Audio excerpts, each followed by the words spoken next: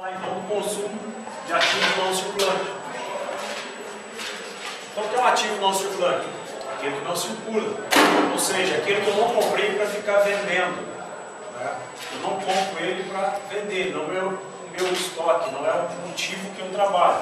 É simplesmente algo que eu compro que vai me ajudar a produzir o que eu vendo, vai me ajudar a produzir a minha operação, mas eu não comprei para vendê-lo. Por exemplo, uma máquina. Eu compro uma máquina, não é para eu ficar comprando e vendendo máquina, eu sou uma indústria. Essa máquina eu vou fazer aspirol, vou fazer camiseta, vou fazer linha, mas eu não vendo a máquina. A minha ideia não é vender a máquina. Em alguma etapa da, da vida da, da máquina eu vendo ela, mas a minha essência não é vender a máquina. Por isso que ela é não circulante. Ela não está destinada ao meu estoque, e sim a produzir o meu estoque. Meu estoque sim é circulante. Então são os ativos permanentes, permanentes é esse, eu acabei de falar, o que não circula, que são adquiridos para serem utilizados por alguns períodos. Eu não compro para vender amanhã, eu compro para usar ele no mínimo dois anos, ou mais de um ano. Ou até posso usá-lo durante a vida toda da empresa. A empresa que tem maquinário lá de 1970, 1980, depende do que ela faz. Se não houve atualização, ela consegue utilizar o maquinário antigo.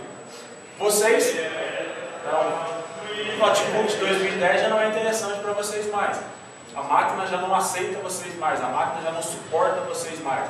É? No meu caso, o notebook 2010 manteria perfeitamente. Só uso o Office, o Office não sobrecarrega igual vocês precisam de uma máquina rápida para atender às necessidades de vocês. Então eles não são objetos de venda. Isso que é uma classificação então do ativo não circulante. Então nós temos exemplo, edificações. Edificações são os prédios que nós construímos, compramos o terreno temos edificações. Então nós temos terrenos, temos edificações separadas. Temos as máquinas, temos equipamentos que nós compramos para trabalhar, os veículos e assim por diante, equipamento de informática, tem o software também. Isso tudo é exemplo de ativo não circulante. Tranquilo? Então, classificação de ativo não circulante é aquele que eu não utilizo como objeto de venda. Então, não é utilizado como objeto de venda. Eu compro ele para produzir alguma coisa. E o que é a depreciação, pessoal?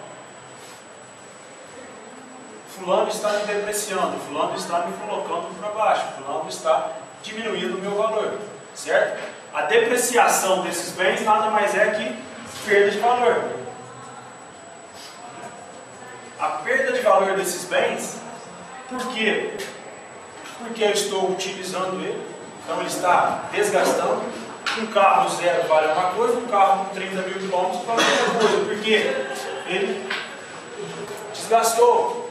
Ou ele também teve perda de utilidade. Essa perda de utilidade eu uso, mesmo exemplo do carro. O carro vai perdendo utilidade porque eu vou utilizando ele muito. Ou então a ação da natureza. A natureza vai destruindo meu bem, vai destruindo o prédio que eu estruturei. Ou obsolescência. Isso aqui é desuso. O notebook que eu acabei de falar para vocês, obsoleto. Alguém aí vai na, na loja quer comprar um door core? Quer comprar. Né? Vocês querem o i7 terceira geração, se tiver quarta geração, e assim vai. Quando eu fiz um, um curso de informática, pessoal, sou da época que eu fiz um cursinho ainda de DOS, Windows, basicão, acho que era 90 e poucos o pacote. E lá tinha um exemplo de essas conversões, né, bytes, megabyte, gigabyte. E quando o cara deu um exemplo de 1 terabyte, que naquela época isso era 90 e 1 terabyte, o exemplo dele é só na NASA tem esse tipo de capacidade. Isso era 98, 97. Não sou tão velho assim. Mas o exemplo é só na NASA tem isso. Hoje o notebook pequenininho tem 1 tera. Então a gente vê que o mercado de vocês evolui. Que essa obsolescência no mercado de vocês é muito pesada. E a contabilidade precisa demonstrar essa obsolescência. Ela precisa demonstrar esse desgaste, essa perda. Porque a ideia da contabilidade A essência da contabilidade é demonstrar o valor que de fato vale a empresa, a companhia. Se eu estou informando que eu tenho um carro, um golzinho 96, bola, primeira, a segunda geração do gol lá, o gol bola, que eu comprei ele lá atrás, lá a 15 mil reais. E se a contabilidade continuar demonstrando que ele vale 15, eu não estou demonstrando a realidade. Por quê? Porque ele não vale. Ah, Cássio, ele está tá bem conservado, você andou só 90 mil quilômetros nesse tempo todo, está muito conservado. Beleza, mas vale 8, vale 9. Não os 15 que eu paguei. Então tive perda por uso e também desgaste do veículo. A contabilidade precisa demonstrar essa informação. E para onde vai isso, pessoal? Você estudar a contabilidade de custo lá no quarto trimestre, lá no quarto, no quarto período. Vocês ouviram falar em custos? e ouviram falar em despesas. Os custos são. Lembra? Ninguém chuta. Valendo 10 pontos. Essa hora até a cara do smartphone que estava brincando aí. Agora escutaram. Pessoal, os custos são gastos. Sim relacionados à produção.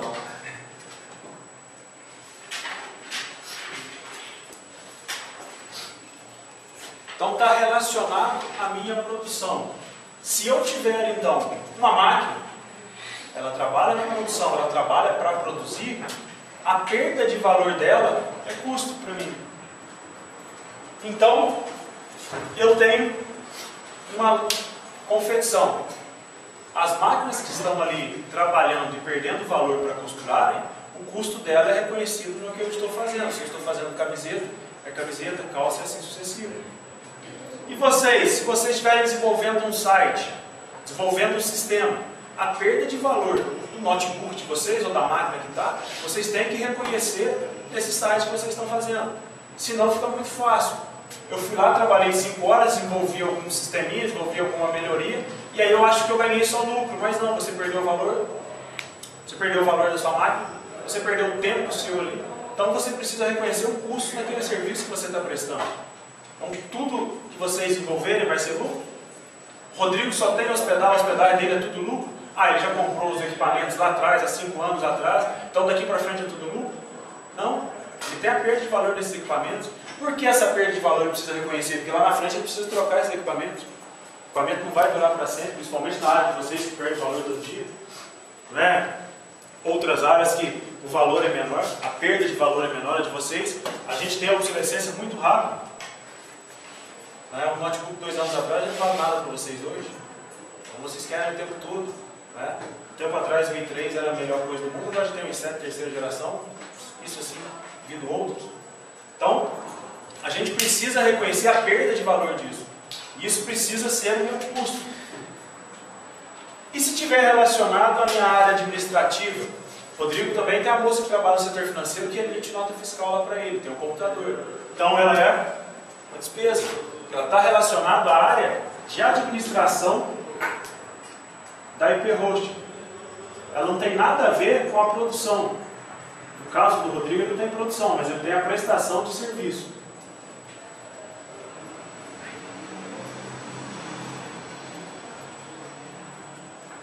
Os gastos que ele tem com hospedagem, os gastos para prestar o serviço dele, são os custos que ele tem.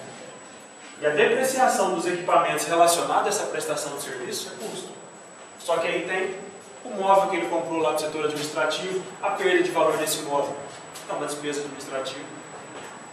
A perda de valor de qualquer coisa que não esteja relacionada à prestação de serviço dele. Certo?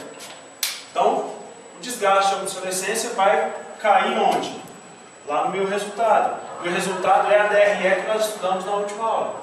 Então eu tenho uma perda de valor que vai cair na minha DRE. E essa despesa, ou custo, está relacionado ao que? A minha operação. Então a despesa é uma coisa não operacional? Não. A depreciação é algo não operacional? Não, é algo operacional. Ah, Cássio, mas a depreciação que não está vinculada à minha prestação de serviço é não operacional? Aí não, pessoal.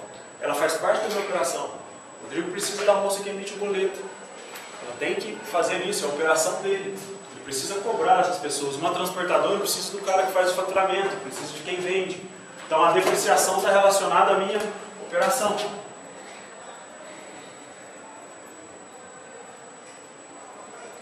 A depreciação é a perda de valor de algo não circulante. O não circulante é utilizado como objeto, ele não é utilizado como objeto de venda, é utilizado para produção do algo que eu vendo, então faz parte da minha operação. Ele, não pode, ele pode não estar vinculado à produção em si, pode não ser aquela máquina de costura, pode não ser a máquina que faz a Coca-Cola, mas é o veículo que vai entregar a Coca-Cola. Ele não está na produção, mas ele está parte da operação da Coca-Cola.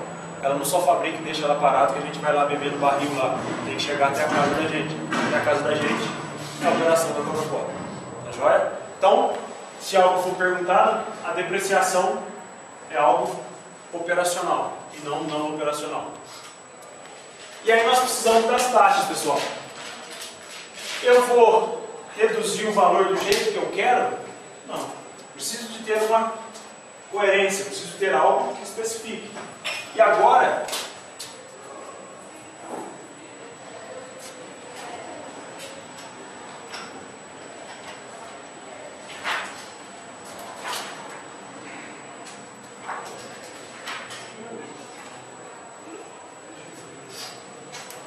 depois de 2007, pessoal, a contabilidade teve uma atualização, teve uma conversão às normas internacionais, o qual antes disso a contabilidade tinha, na questão de depreciação, total influência do fisco. O que é o fisco? É a Receita Federal. Ela falava que a taxa anual de depreciação será fixada. A Receita Federal fixava essa taxa de depreciação. Ela fixava qual era o prazo que os nossos bens durariam. Ela generalizou.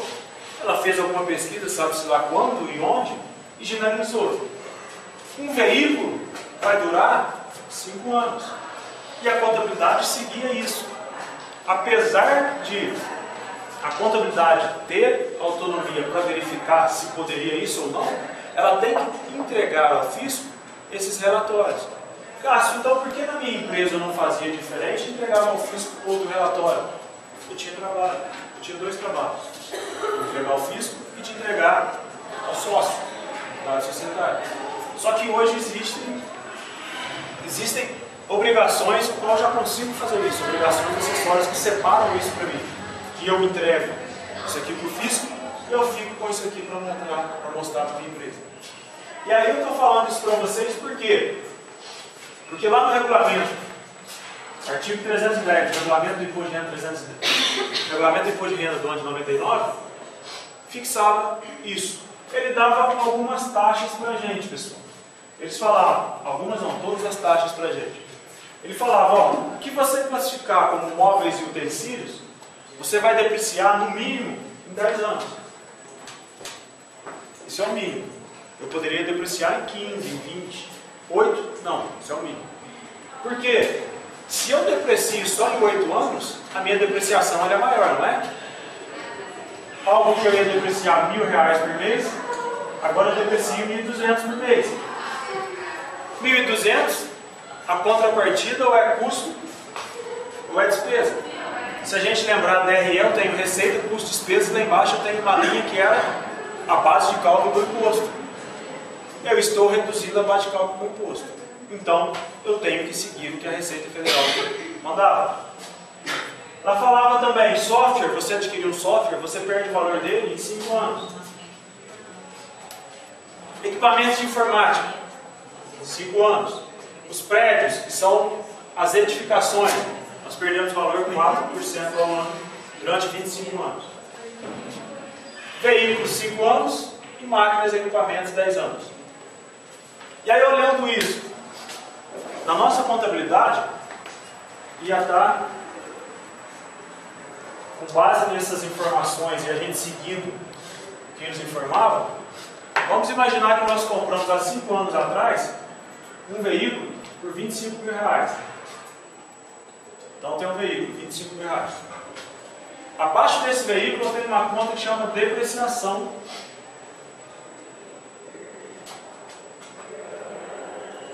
Acumulado. O que é? Quanto de depreciação veio acumulando até a data de hoje, que era a data do balanço? Eu tinha 25 mil reais. Entre parênteses, sinal que ele é negativo. Então, quanto valia esse veículo para mim na data de hoje? Paguei 25, utilizei ele 5 anos, 25. Eu olho lá na minha contabilidade, eu tenho um carro que não vale nada na contabilidade. Aí eu vou no pátio, dou uma olhadinha lá, puxa, é um carrinho velho, mas ele vale pelo menos 9 pontos, eu consigo dele.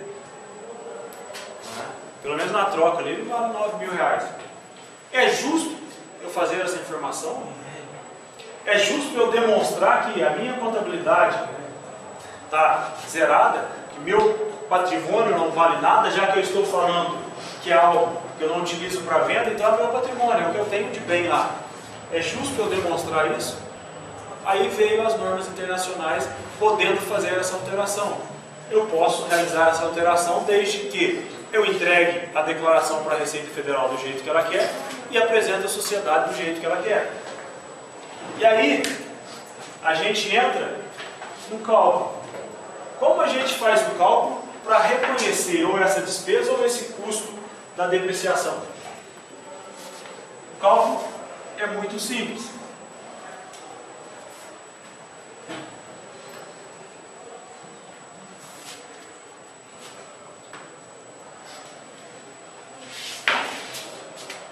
Comprei uma máquina. Aqui está falando da gente que a máquina é 10% ao ano, que eu deprecio em 10 anos. Comprei uma máquina e paguei nela, para facilitar a nossa conta, 100 mil reais. Então está tranquilo, paguei 100 mil reais nessa máquina. E como é que eu vou fazer o cálculo da depreciação? Por ano eu vou depreciar, lá está falando, 10 mil. Então no meu primeiro ano, eu pego 100 mil, vezes 10% eu tenho 10 mil reais. E se eu transferir para aquela conta ali, demonstrando lá na contabilidade que eu tinha, tem uma máquina que eu paguei 100 mil, eu tenho uma conta específica de depreciação acumulada dessa máquina de 10 mil. Então essa máquina hoje está valendo para mim 90 mil reais depois de um ano. Primeiro ano eu faço esse cálculo. Cássio, mas e se eu quiser fazer esse cálculo por mês? Olha só, por ano eu sei que vale 10, pego só os 10 mil,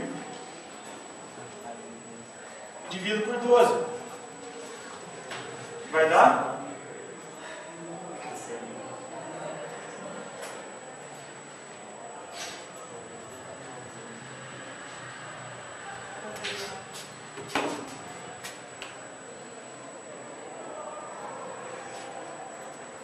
Então essa é a perda de valor por mês que eu tenho nessa máquina. Pessoal, se a máquina ela está relacionada à produção. Então esse 833 eu reconheço ele como custo ou como despesa? Relacionado à produção? Produção? Custo. Então, todo mês eu tenho 833 reais de custo. E o que eu precisaria então, se eu fosse um gestor, ou se eu fosse um tomador de decisão, com esse valor? Eu precisaria inserir esse valor no meu custo para eu formar o preço de venda do meu produto. No final desse período, eu preciso comprar outra máquina. E se eu esquecer de colocar esse valor aqui, seja um centavo em cada produto que eu estou fazendo, se eu esquecer ou se eu não colocar esse valor, eu vou ter um lucro, o qual eu vou retirar e no final de tudo a minha empresa vai ficar naquele ciclo, sempre no financiamento. Por quê? Porque eu não montei ou estruturei o preço de venda correto. Tomei decisão errada. E essa formação, ah, isso é comum, né? É comum. É comum acontecer isso. É comum alguém da área de gestão ou tomada de decisão não inserir esse preço, da, o valor da depreciação nos seus gastos. Ah, é muito dinheiro. Vamos pegar como exemplo uma transportadora. Em média, quanto custa uma carreta, vocês sabem? Carreta mais baratinha? Para ela ficar rodando prontinha, 500 contas. Vou lá, compro o cavalo, aí compro a carreta lá, a carreta é a parte de trás, cavalo é a cabine, gasto 500 mil para ela andar. 500 mil. Se a gente pegar aqui, nós falamos que veículos deprecia 20% ao ano. É isso? Quanto que eu preciso depreciar ao ano disso aqui? 100 mil reais. Quanto que eu preciso reconhecer por mês disso aqui? 8.333. Tranquilo? E tem muito empresário que não reconhece isso. Isso é uma só. Transportadora tem média de 50 a 100 carretas. Imagina uma que tenha 100. Eu preciso de 833 mil. Eu tenho que conseguir jogar no meu preço de venda 833 mil, senão eu tenho prejuízo. Eu tenho que inserir isso. E muitos não trabalham com isso. Trabalham no prejuízo. Trabalham sempre renovando e renovando o financiamento. E aí, isso aqui é o valor de uma parcela de uma carreta que você parcela em 60 meses e parcela perder de vista. Tranquilo? Então preciso, a gente olha um cálculo simples, é um detalhe muito pequeno, qual é impossível alguém não inserir isso. Uma coisa tão simples, o cara faz isso todo dia, mas não, tem gente que não insere essa informação. O cálculo de depreciação, tranquilo? Pego, só limpar isso aqui para ficar mais claro. Ali já tem as taxas anuais, então. Então, imaginando um item que deprecia 20% ao ano. Ao ano. Eu pego o total do item e multiplico pelo percentual de depreciação.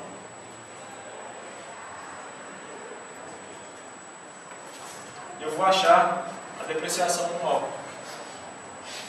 E se eu quiser achar mensal rapidão, eu posso pegar o total que eu paguei e dividir pela quantidade de meses, galera.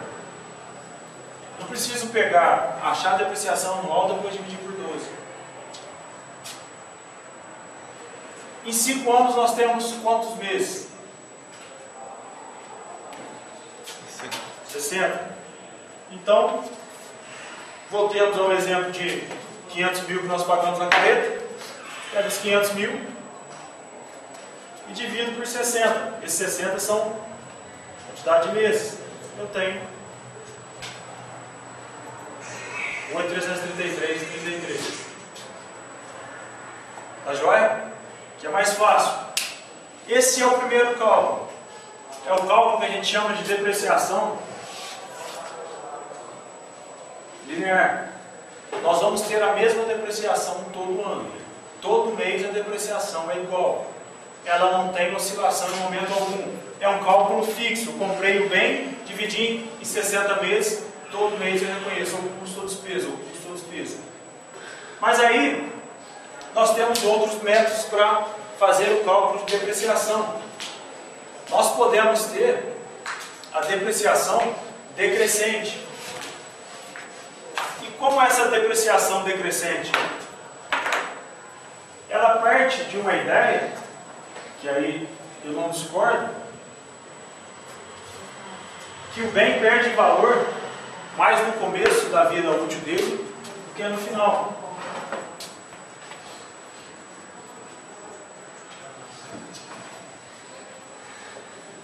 Então, qual é a ideia da depreciação decrescente? O bem perde mais valor no começo da vida útil dele.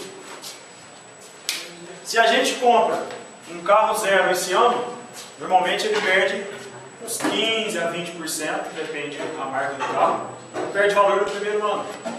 Depois já 10, 8 e vem perdendo menos valor. Então essa decrescente parte dessa ideia. Ela parte de uma ideia onde o bem perde mais valor do início da vida útil.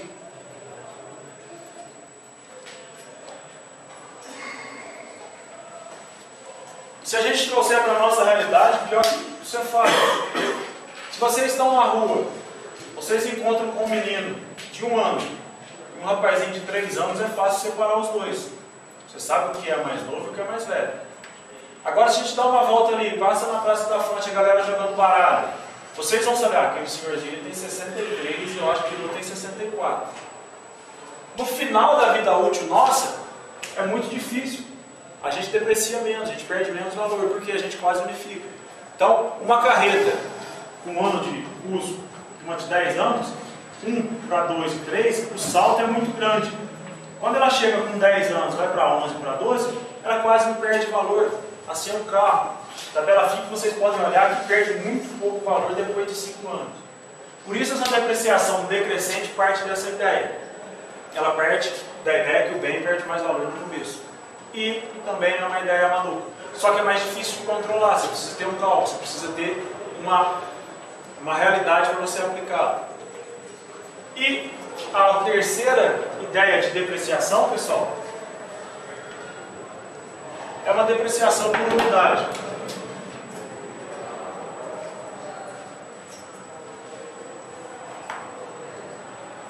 O que é essa depreciação por unidade, pessoal? É a depreciação que eu consigo chegar ao cálculo, e aí mais para uma indústria, de quanto o meu bem perde valor a cada unidade que eu produzo. Então ela vai ser muito variável. Ela vai ser totalmente variável. Por quê? Vai ter mês se eu chegar ao ponto de verificar que o meu bem perde valor um real a cada unidade que eu produzo. Se o mês eu produzir 700 unidades, tenho 700 reais de depreciação. Mas eu posso chegar no momento de pico e conseguir produzir 1.300 unidades. E aí eu cheguei ao cálculo que por unidade é um real. Vou ter 1.300 unidades 1.300 reais de depreciação. Então esses são os cálculos de depreciação, galera. É o cálculo linear, que é o que a gente vai usar. A gente vai usar mais esse, que é mais fácil até para vocês entenderem. Tem o cálculo decrescente e tem o cálculo também por unidade. Então se vocês estiverem desenvolvendo sistemas e alguém pedir isso para vocês, não se assustem aqui. Olha, ah, eu quero que você faça uma, uma depreciação por unidade para mim. Tranquilo. Para vocês vai ser tranquilo. Joia? A essência é essa, é só perda de valor. Aqui só são cálculos diferentes. Tá joia? Depreciação, alguém tem alguma dúvida? Boa? Então, beleza, galera.